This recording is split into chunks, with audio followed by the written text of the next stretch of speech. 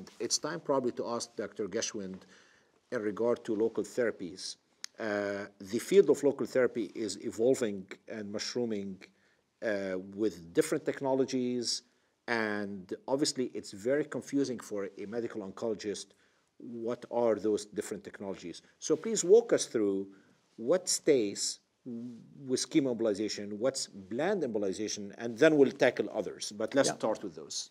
I think we have to start with the scientific rationale. And, and, the scientific rationale is based on the notion that liver tumors, whether they rise in the liver or metastasize to the liver, draw their blood supply from the hepatic artery. Mm -hmm. So that means we can actually exploit that to our benefit and to obviously the patient's benefit because we can use it as a roadway to get to the tumor and deliver chemicals, radioactive components directly to where it hurts the most, which is the tumor itself. And in doing so, we are preserving obviously the systemic uh, organs, but we're also preserving a lot of the normal liver tissue.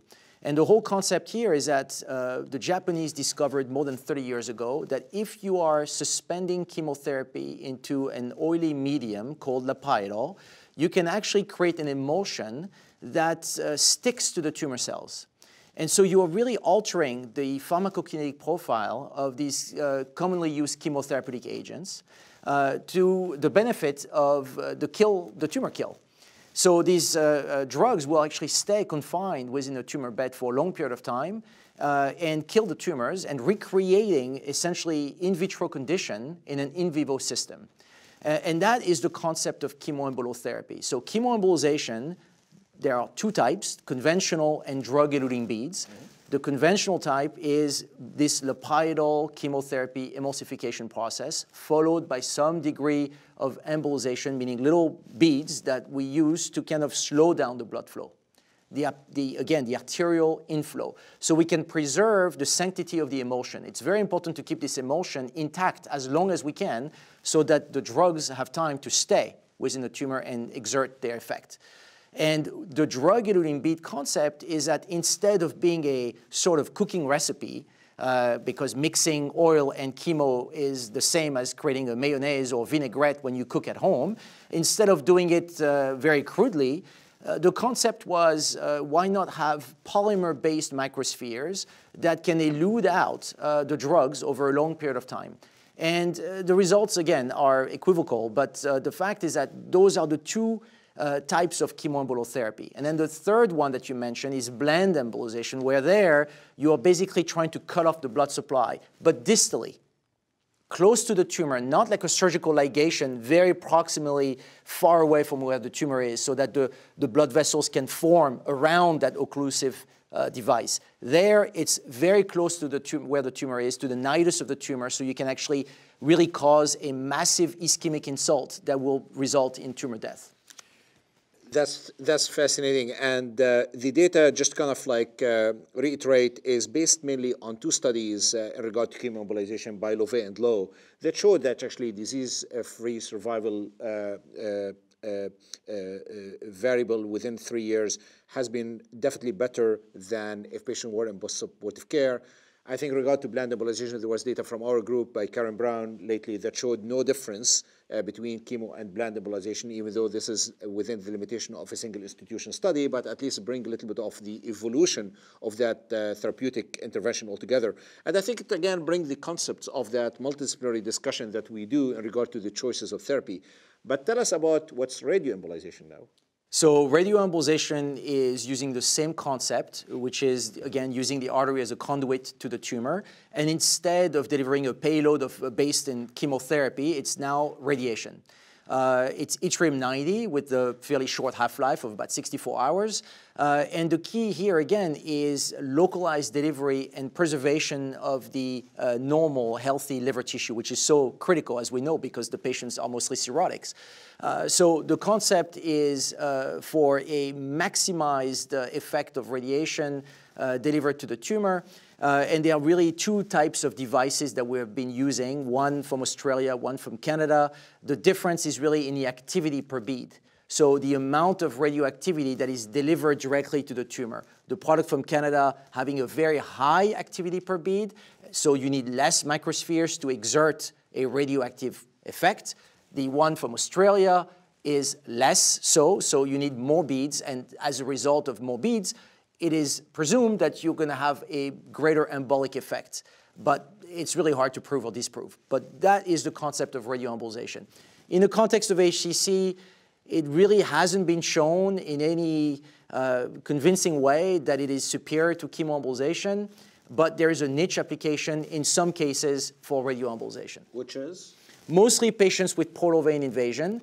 And the main reason for that is because initially when chemoembolization was conceived, uh, there was a fear that you would go to stasis of the hepatic artery, and if the portal vein was already shut down, you would have complete infarction of that area that you treated with chemoembolization. So the concept was because radioembolization is so, the beads are so small, they are about 30 microns in size, they do not cause any kind of embolization effect.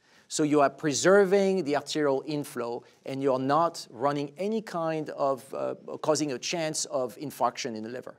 But Jeff, you know, so this is something that becomes very relevant at tumor boards because we're talking about what by the Barcelona staging system would be intermediate, right? And, and to go back to the earlier discussion about staging patients, taking into consideration their underlying liver disease, the extent of tumor burden. And if we're talking about chemoembolization for a group of patients which we consider Barcelona B, which are intermediate, they have a good performance status, generally performance status zero. Uh, the tumor is confined to the liver. Often it's multifocal because of that field defect. But who, who with that characteristic should not undergo local regional therapy? And, it, and you commented on vascular invasion as a safety issue. But isn't it also an efficacy issue? I mean, quoting the studies that, that Ghassan mentioned that date back to establishing TACE as a standard of care, really excluded patients who had vascular invasion. You know, the, the criteria for patient selection was pretty strict as far as size, tumor burden, and this vascular issue. And, and while, you, while you speak to radioembolization as potentially a, something that favors Y90 over TACE because of safety, let's talk about how well they work in those. Yeah, no, I mean, this is a very good point. I mean, the, the, you know, the first thing to say is that those studies were small because I think we all agree the nature of HCC clinical trials uh, dictates it. It's very difficult to enroll uh, large patient, uh, large amounts of patients in HCC trials. Okay, so uh, we could argue about the numbers, but the fact is that it was unequivocal, and these two studies, randomized phase three trials, established uh, chemoembolization because there was a survival benefit. That was very clear. Now, that's basic. A benefit in the population defined. But this studies. is my point.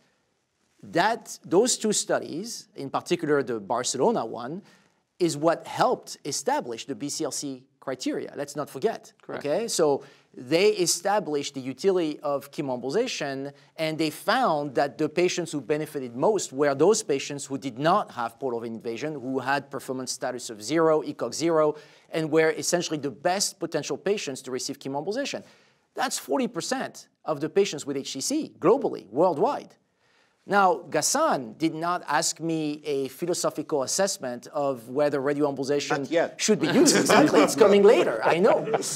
He asked me about the rationale and is, what is radioembolization. I explained it. Doesn't mean I endorse it. However, I have to say that for patients who present with limited advanced stage liver cancer, Let's meaning define that. I will the, define you know, it for yeah. you. If you let me, I will define it. Okay, I'm used By to By the way, we're, we're having a live broadcast from a tumor board. Keep going. Yes, exactly. Was an invisible patient.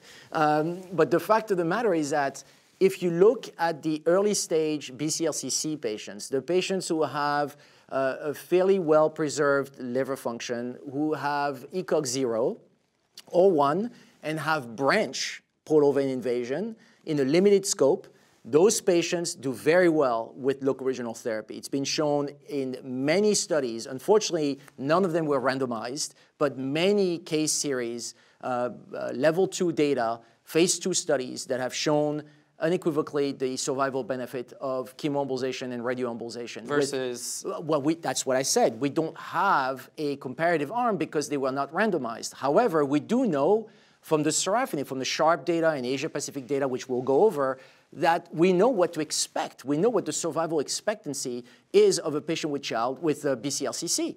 And when you see that again, through multiple data, multiple studies that have been published, you achieve 12, 14, sometimes 16 months median survival in patients with advanced stage liver cancer, you have to take that into consideration. So let me summarize what's going on here because that's very important. So uh, we heard about transarterial chemoembolization, we heard about transarterial bland embolization, we heard about uh, radioembolization, and in reality, uh, the data is limited. Uh, we have two randomized trials that were happen that happened probably about 15 to 16 years ago. Yep. Exactly. And uh, in addition to that, uh, after this, there was so much comfort and so much confidence in regard to those therapies. There are trials that, look about safety. There's a little bit of less available data on efficacy, as Richard mentioned.